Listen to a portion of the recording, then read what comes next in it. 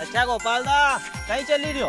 अरे यार राजू मकनी एक मशीन लानी लहसुन ग्रेडिंग करने की पर समझ में नहीं आई रही कहाँ की लानी। अरे अपना जहांगीरपुर वाला जो गौरव इंजीनियरिंग है नहीं हाँ। उनने मशीन बनाई है। देखो ये वीडियो इन्हीं मशीन में हनी लहसुन ग्रेडिंग और कड़ी फूटने का काम एक साथ में कर दिया। जिसके बाद प्याज का पत्ता और लहसुन का पत्ता भी काटी सकता है। इका साथ में गेहूँ चना सोयाबीन और सब तरह का अनाज ना की ग्रेडिंग भी कर सकता है। और हाँ एक साथ में मूँगफली का दाना भी तब निकाल सकता है। और इन मशीन की खास बात यह है कि ट्रैक्टर से चलने का अलावा सिंगल फेस की मोटर से चलाना को भी सिस्टम दे रखे है इन अब तो याद मशीन लूँगा और भाई ना अगर आपका भी यह मशीन लानी है तो नंबर यहाँ दिया है। संपर्क कर लो जो।